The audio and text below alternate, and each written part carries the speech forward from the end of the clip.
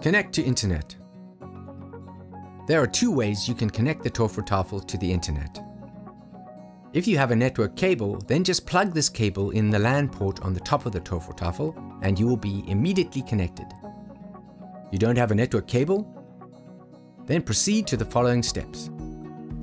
First ensure that the Wi-Fi dongle is properly inserted into the USB port on the top of Tovertafel 1, or that the Wi-Fi antennas on top of Tovertafel 2 are firmly connected.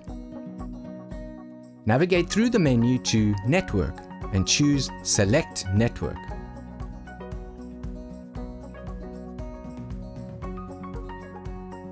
Now choose the right local Wi-Fi network from the list that appears.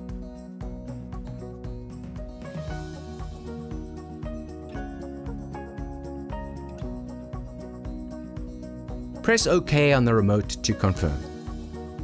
Then enter the password of the Wi-Fi network with the arrows on the remote. Confirm by selecting OK in the projection.